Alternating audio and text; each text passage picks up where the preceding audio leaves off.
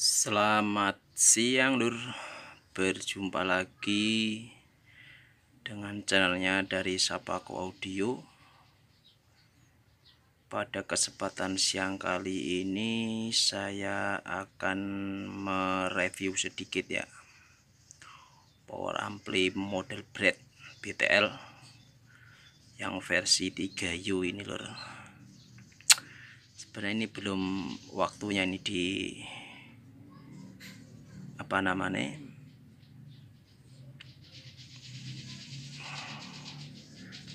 Direview. Karena masih belum komplit. Nah ini ini wajibnya kan direview. Habis direview nanti di lot kira-kira berapa ampere daya kemampuannya dia ya.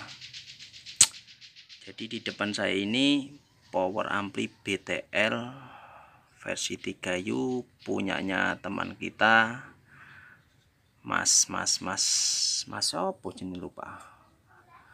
Mas Kasno apa sih? Pokoknya bos sopir ini lor dari Jawa Tengah.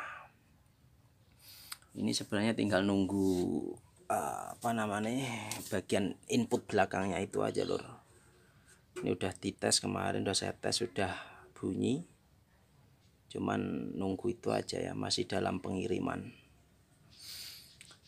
Ya udah saya review aja ya. Jadi uh, ini adalah produk dari Sapaku Audio. Ya.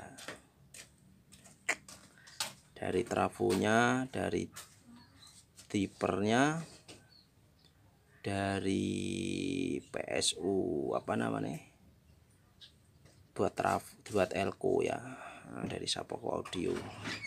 Kalau ini boxnya bawaannya dari yang punya sama P, pendinginnya ini sama elko nya sama kipasnya.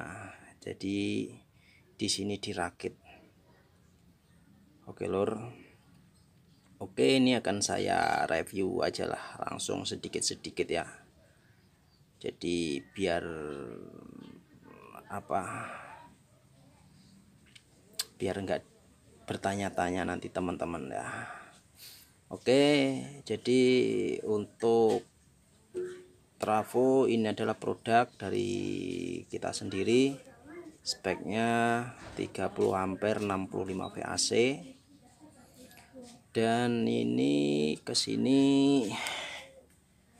ya, kita memakai 4 dioda ya. Ini kapasitasnya 50-an ampere. Jadi ini dua dioda lari ke sini dua dioda lari ke sini. Jadi untuk satu driver ini di suplai sendiri sendiri lor ya. Tapi trafonya satu. Satu dibongkar jadi dua gitu.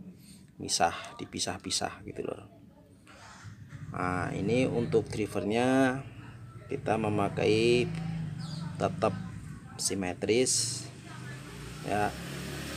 Dan ini untuk driver yang ini eh, dilengkapi dengan pengaman-pengaman yang lumayan bagus ya.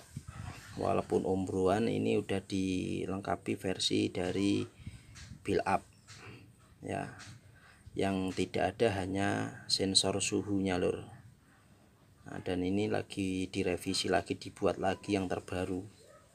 Masih dalam tahap apa itu namanya penggambaran ya. Nanti kalau udah Insya Allah akan kita launching lagi. Oke teman-teman jadi ini dilengkapi apa aja ya. Yang pertama dia servo udah pasti input balance udah pasti protektor udah pasti terus clip indikator udah pasti. Nah ini ada UCP dan juga ada limiternya lur. Hmm. cuma ini kemarin tuh kan ceritanya limiternya kebalik dalam perakitan jadi nah ini limiternya lor milimeternya jadi dia enggak di tempatnya dia karena dia terbalik jadi harus di hmm, apa namanya dimodif biar dia biasa terpakai. Seperti itu. Nah ini elko nya merek Mac lor ini lumayan bagus. Ini elko murah tapi lumayan bagus. Karena ini kalau nggak salah harganya di bawah 50.000 untuk satu biji ya. Ini 100 volt. Eh 10.100 volt. Eh iya ya 10.100 volt dia kemampuannya di 100 lebih ini kemarin dul. Kita uji ya daya kemampuannya untuk menampung tegangan. Seperti itu. Terus apalagi ini? Nah ini kipasnya High jadi ini power ini eh, kalau kita hidupkan itu kalau kecil kita kalah sama suara kipasnya loh jadi kipasnya lebih kencang daripada suara powernya. Jadi power ini tidak dikhususkan untuk dalam ruangan karena kencangan dari kipasnya. Tapi kalau buat lapangan insya Allah ya cocok ya kan biar kuat adem.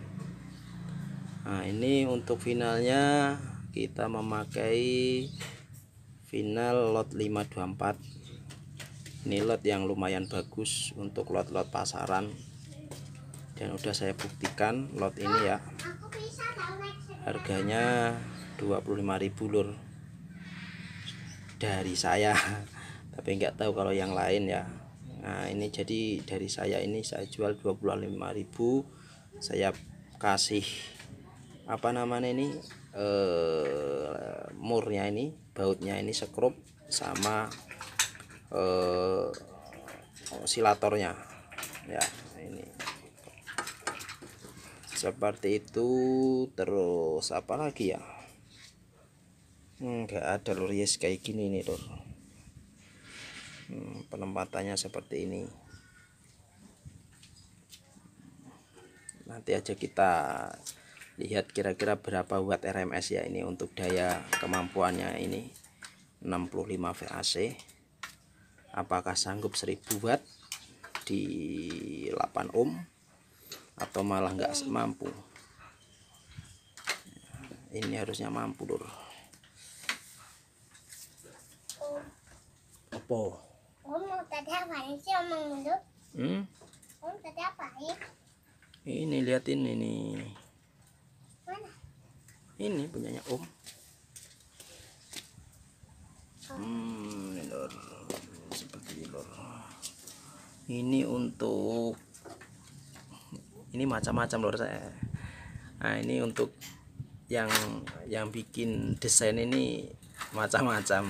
Ada dua teman. Nah, yang ini desainnya dari Mas Nafsrul Mas Nafsul ya. Nafsul Nasul tahu pasti teman-teman. Nah yang ini desainnya Mas Praga.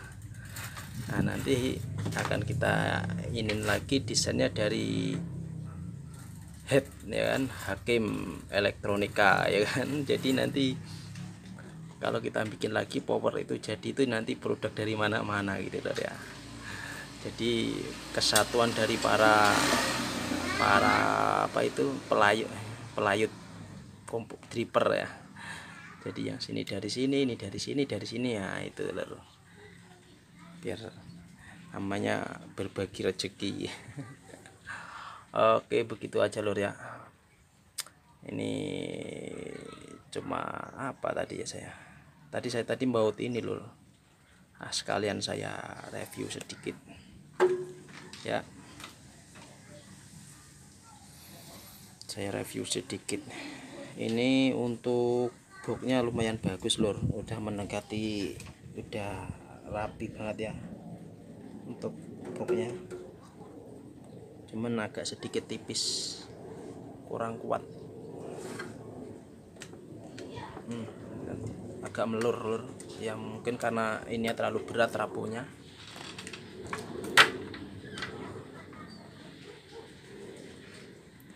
oke gitu aja lur ya ini bukan review tapi ini adalah ngobrol-ngobrol aja lur nanti reviewnya saat kita tes lot kira-kira mampu berapa watt di 8 ohm ya. Kita di 8 ohm aja lur jangan 4 ohm lur. Karena saya pastikan PLN sini jeglek kalau 4 ohm. Karena dulu saya pernah ngetes BTL juga 4 ohm langsung jeglek Hmm, mainnya 8 ohm aja oke lur cukup sampai sini aja ya. Terima kasih. Salam satu hobi. Selamat siang. Assalamualaikum warahmatullahi wabarakatuh. Salam